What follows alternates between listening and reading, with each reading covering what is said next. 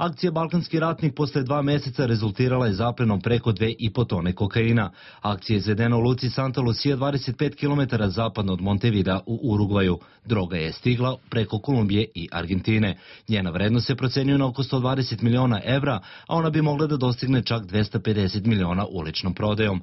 Zbog te zaplene već su uhapšeni tri osobe iz Srbije, a tužilac Miljko Radisavljević kaže da je nabavku i transport kokaina izvela međunarodna organizovana kriminalna grupa, među kojima su bili i državljani Srbije.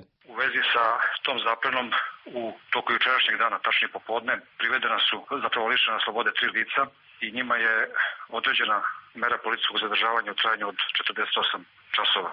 Radi se o Vujanović Željku iz Kragujevca, Voratović Marku i Pavlović Nikoli iz Beograda.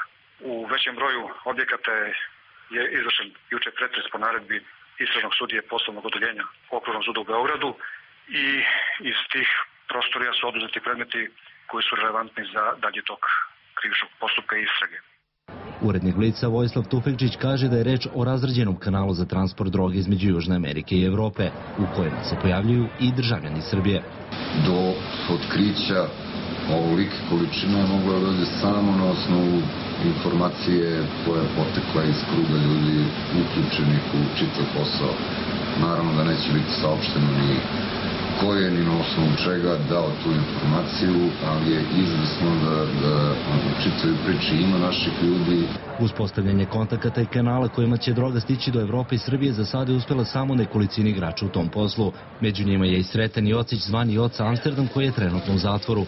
Od kako je uhapšen srpska policija razbila je još dve kriminalne grupe. Hapšenjem Darka Eleza i grupe ubijene u Strahinje Rašete, policija veruje da je u znatnoj meri sprečena trgovina kokainom i heroinom.